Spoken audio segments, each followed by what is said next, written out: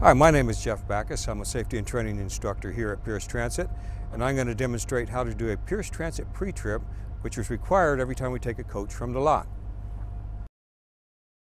Once you get in the seat, um, what you want to do is look at all of your switches. Anything that's drawing power, any lights, our interior lights, fans, heater, defroster, make sure they're in the off position before you start the coach.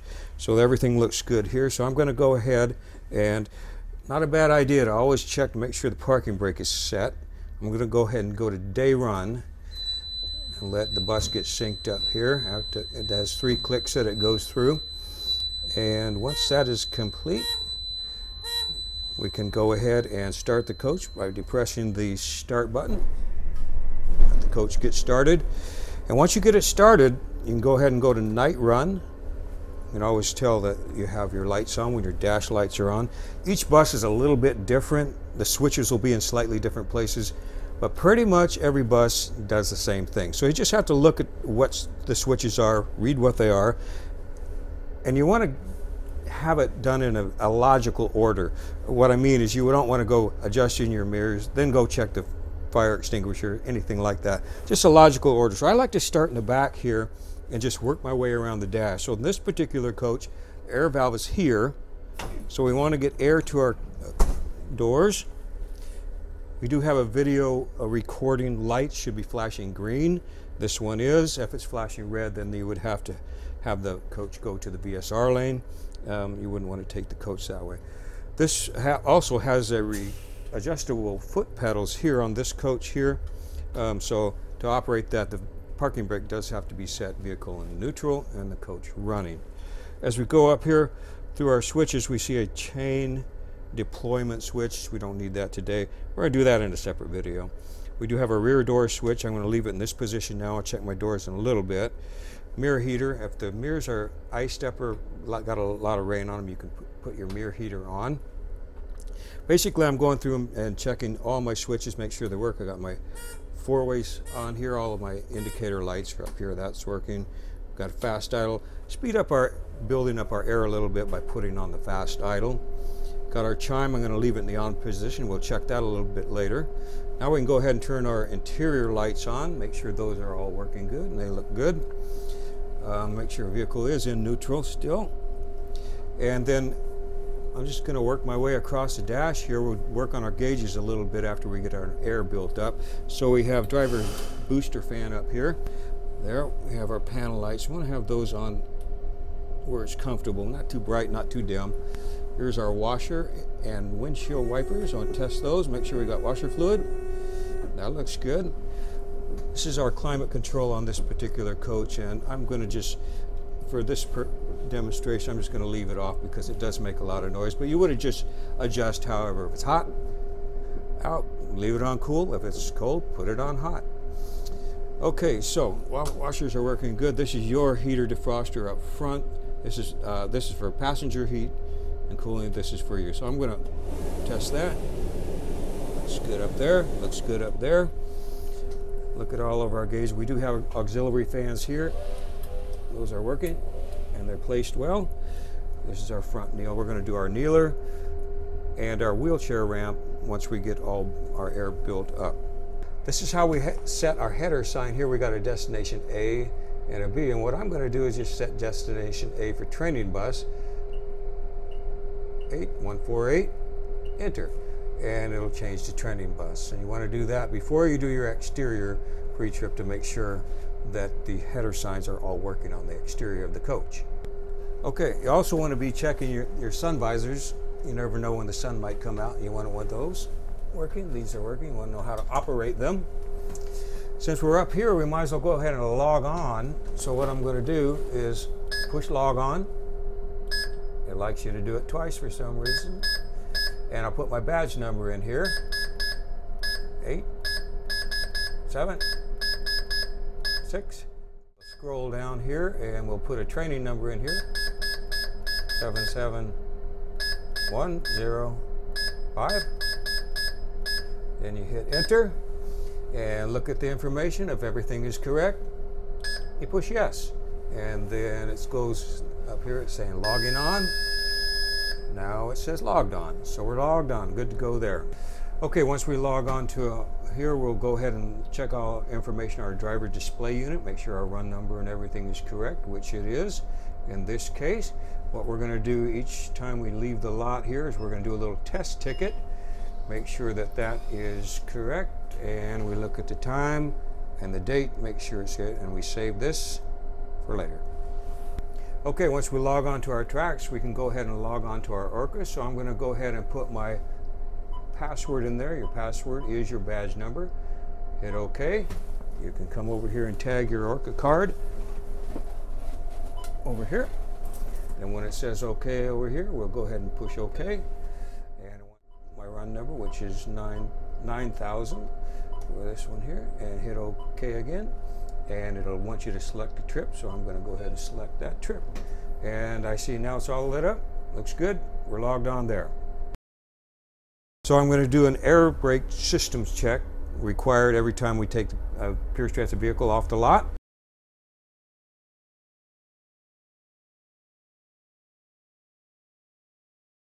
So our first check is an air leak check and what we have to do is we're going to turn the vehicle off, turn it back to day run or night run. We have it on night run. What I'm going to do is I'm going to release my parking brake I'm going to put firm pressure on my service brake and I'm going to hold it for one minute to ensure that I do not lose more than 3 psi in that one minute. And I will begin.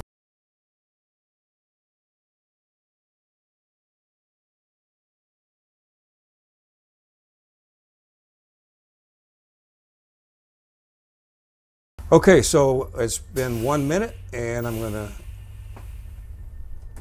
ease off my brake here a little bit, let the wheel chock catch the bus. My parking brake is still released. And now I'm going to do a low air warning check.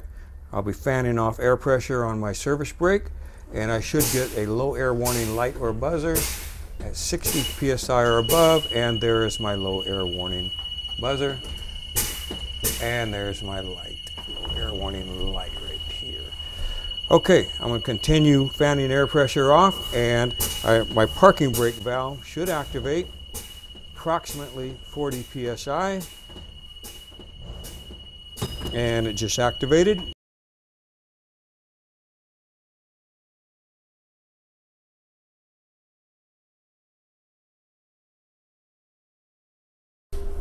Okay, my gauge is about ready to reach 120 and I'm listening now for my air governor to cut out.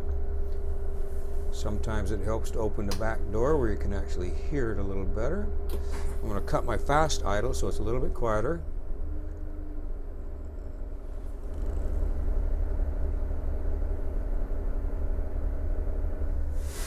And that was my air governor cutting out at about 125 psi.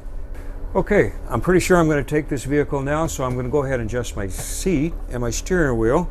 So the my seat here is a little too far away, so I want to go forward by pushing this lock release button. And we want to get to where kind of a natural placement on the floor and the pedals. I'm going to read my turn signals. Seat's a little too, a little too high in the front here, so this lever here will push that front down and I'm to go just a hair higher. That feels pretty good. At this point, I want to adjust my steering wheel. Too far away at this point, so I'm going to pull up on the handle. And that's as far as it goes up. Yeah, maybe just a little bit further up. That looks pretty good. We want a nice neutral position on our for our hands. Arms nice and neutral and straight.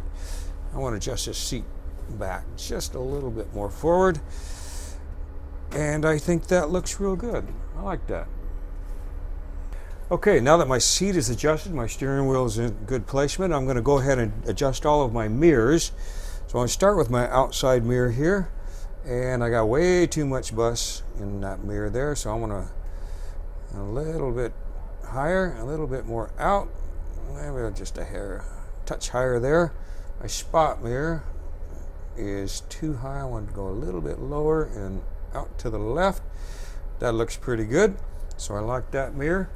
Now I want to go over to my passenger mirror here. Oh, it's too low. I want to be able to see all of my passengers. keep an eye on what's going on on the coach. That looks really good. I got another mirror here that looks over the mirror that's above the stairwell. And that's a little too low and in, so I'll push that out. So that looks pretty good there. I like that. Bike rack mirror. Bike rack mirror. I want to see a little more of that bike rack. Put that right about there. That looks pretty good. Okay, I got one more mirror there on the passenger side, so I'll adjust that. That's a little too much sky there. So that looks about, that looks pretty good right about in there actually. Spot mirror, I want to go down just a little and a little bit out. Maybe bump it up just a hair. Okay, I like that. That looks good. Okay, I'm going to go ahead and check that my wheelchair ramp will deploy and stow properly. First, I want to kneel the coach.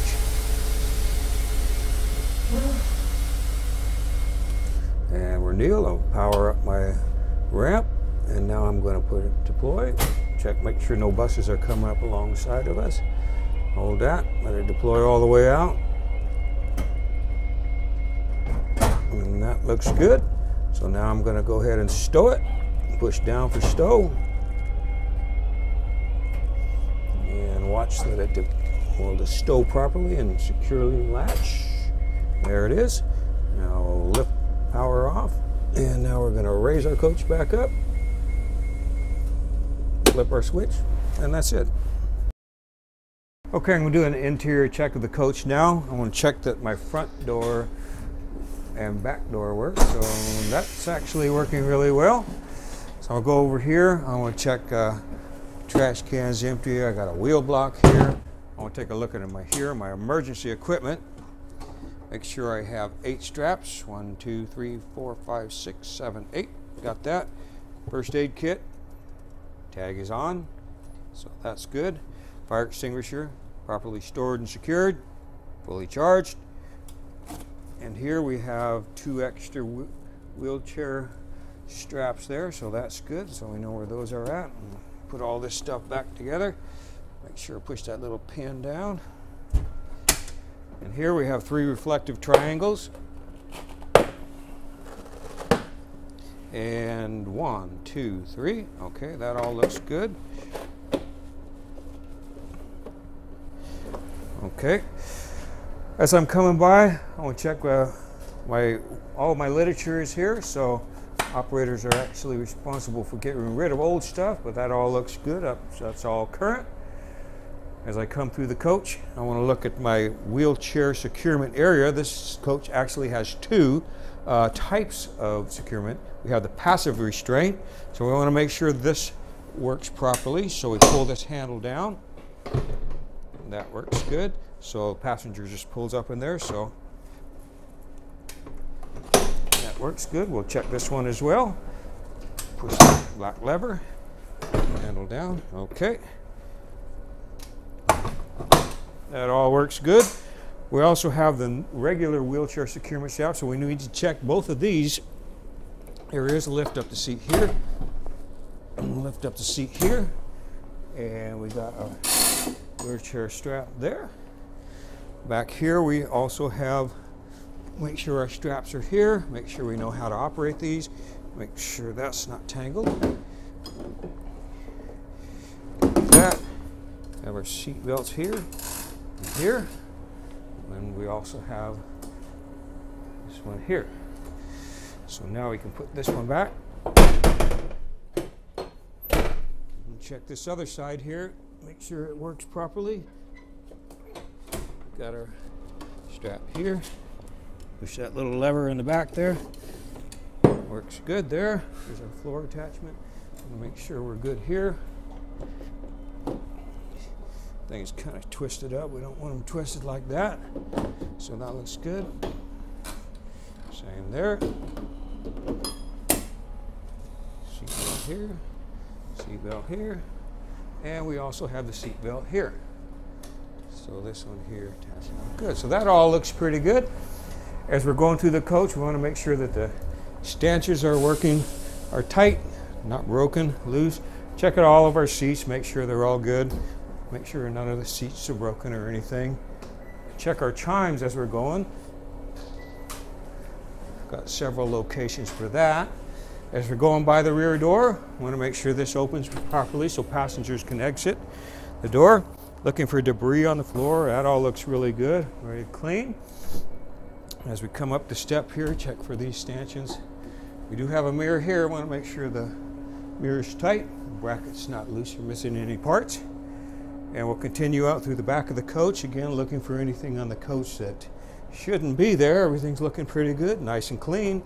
Um, looks pretty good back here. So as we're going through, we can also check to make sure all of our emergency handles, all the red handles are in the up position. Everything looks good.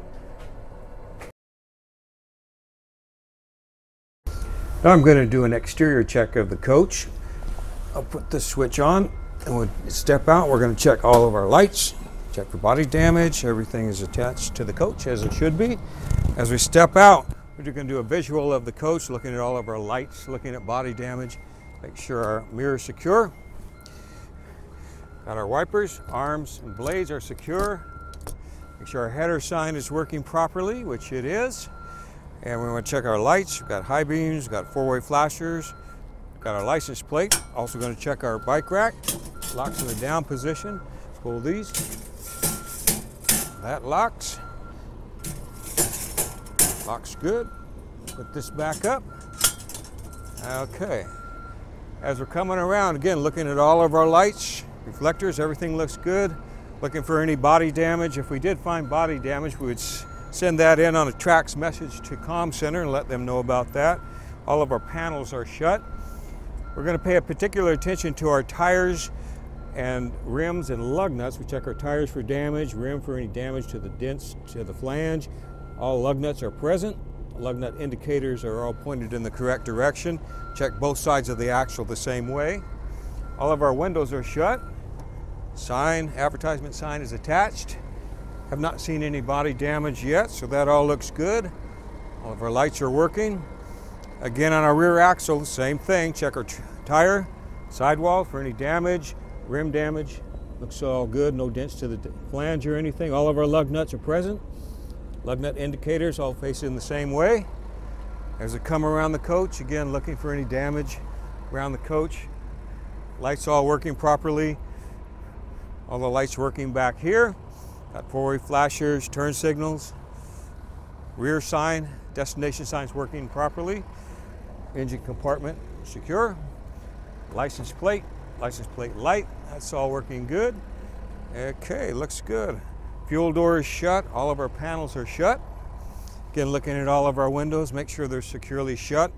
Any body damage, looks good so far.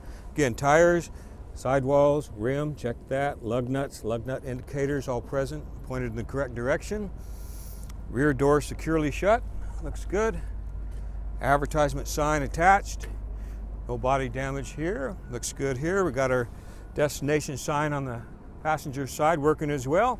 Looks good. And again, our tires, sidewalls, rim. Look at all of our lug nuts are all present. All lug nuts indicators pointing the correct way. And everything looks pretty good so far on this coach. A couple of last checks as we're leaving. Make sure our seat belt is adjusted properly, latches securely, which it does. I like that. A little bit too much play there, so I can adjust here by taking this a little bit out.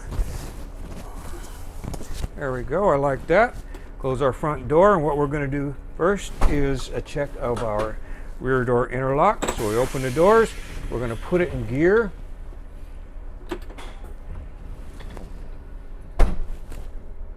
And that indicates that we are in gear.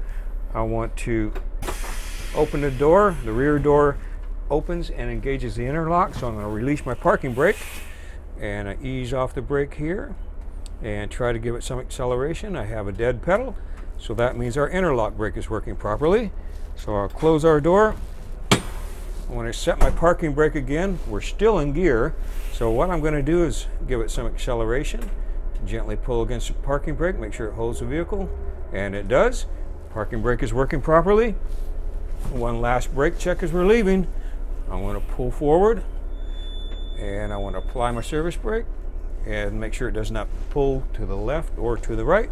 stops the vehicle. So, I think we're ready to go.